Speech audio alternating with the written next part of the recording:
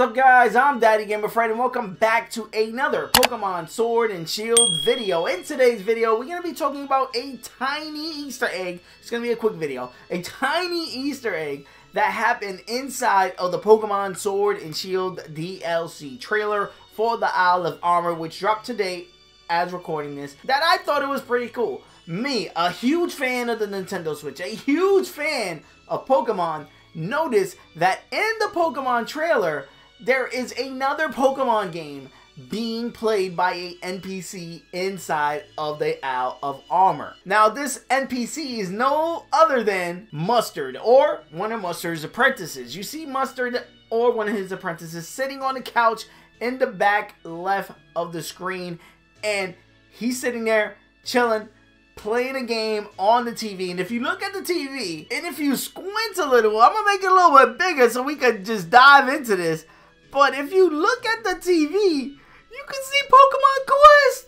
You can see that somebody, well, DJ Mustard, I said DJ Mustard. Uh, Mustard character from the DLC is playing Pokemon Quest. But Jesus Christ, you could clearly see that's Pokemon Quest. A hundred percent on the bottom, you can see that where the Pokemon is. You see the environments, the blocky environments from the trees and stuff like that. A hundred percent.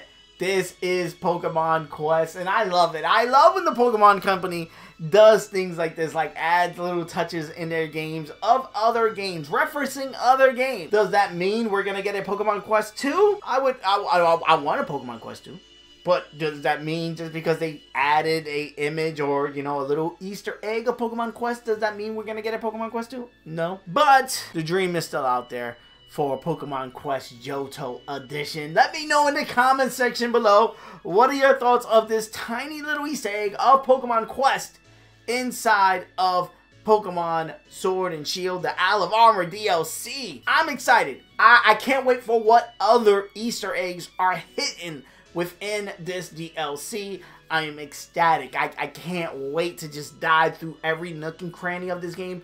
And especially the fact that knowing that they hid out of Armor within the trailer there's got to be tons of stuff hidden within the world of the DLC. Let me know your thoughts about it in the comment section below. Are you going to be picking up the Isle of Armor DLC? If you are, you're going to want to be subscribed. I'm going to be doing a ton of videos just like this one, discussion videos, but also tons of tutorials and my Let's Play, my first reactions will be here on the channel. So if you want to check that out, hit that subscribe button. Also, hit the like button. It does help me out a ton as far as moving the video to recommend it so other people can check out the video. Peace. I love you. Thank you for stopping by. I'm going to see you guys on the next one. Thank you. Thank you. Thank you for making it to the end of this video. If you're not a subscriber and you made it this far, hit that subscribe button. You know you want to. Join the family. Ring the bell so you can be notified on the next time I drop one of my videos, as well as hit the like button on this video so it could be recommended so more people can check it out so we can have more people join in the family. If you want to keep up with me on other social media platforms such as Twitter,